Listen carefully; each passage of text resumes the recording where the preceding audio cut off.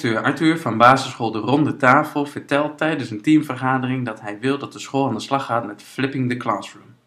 Hij verwacht van zijn leerkrachten dat ze video-instructies gaan opnemen voor hun leerlingen, zodat ze hun tijd in de klas effectiever kunnen gaan besteden. Deze beslissing roept echter flink wat weerstand op in het team en de teamleden spreken hun bezwaren uit. Na een heftige en lange discussie zwicht directeur Arthur en verdwijnt het plan in de kast. In 1962 publiceerde de socioloog Everett Rogers de innovatietheorie, waarmee hij uitlegt hoe, waarom en hoe snel een innovatie zich verspreidt binnen een groep mensen. Rogers zelf legde vooral de nadruk op vernieuwende ideeën, zoals het koken van water om ziektes te voorkomen. Maar de theorie geldt zeker ook voor nieuwe producten, gadgets of diensten die ontwikkeld worden. Hij stelt dat een succesvolle verspreiding van de innovatie niet alleen sterk afhankelijk is van de innovatie zelf, maar met name ook de communicatie erover en de tijd die de innovatie heeft om zichzelf te bewijzen. Tot slot is ook de doelgroep erg belangrijk waarvoor de innovatie bedoeld is. Rogers onderscheidt vijf verschillende groepen wanneer mensen met innovatie worden geconfronteerd. Als eerste zijn er de innovators, oftewel de vernieuwers. Dit is een kleine groep van 2,5% van alle mensen. Innovators zijn mensen die als eerste een nieuw idee willen uitproberen of een nieuw product willen hebben. Deze groep is over het algemeen jong, rijk, bereid om risico's te nemen en heeft contact met ontwikkelaars van producten zelf. Ze zijn altijd op zoek naar het nieuwste van het nieuwste.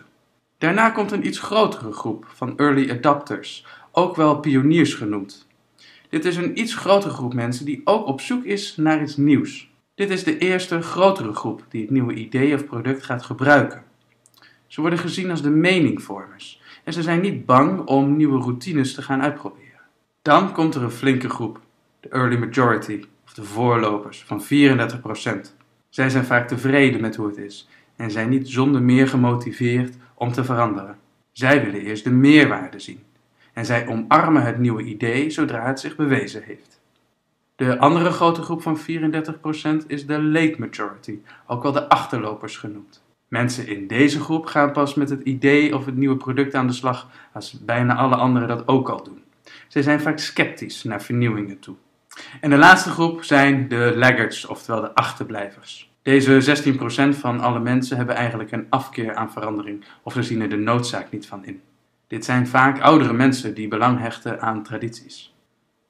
Innovators en early adopters zijn vaak enthousiast over vernieuwingen en intrinsiek gemotiveerd om met iets nieuws aan de slag te gaan. Dat zorgt voor een kloof naar de grote meerderheid die eerst overtuigd moet worden dat het nieuwe ook daadwerkelijk beter is.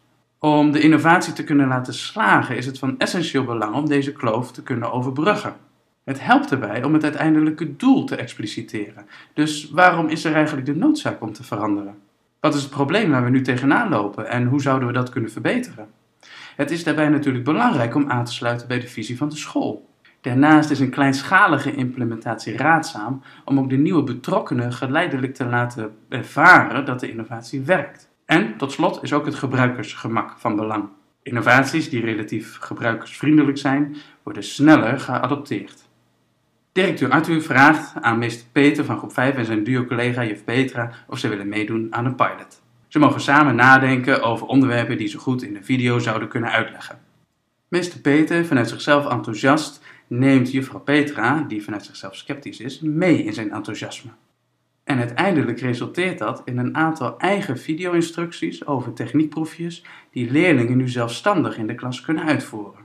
In een teamvergadering delen meester Peter en juf Petra hun ervaringen met de rest van het team en zo begint het balletje te rollen.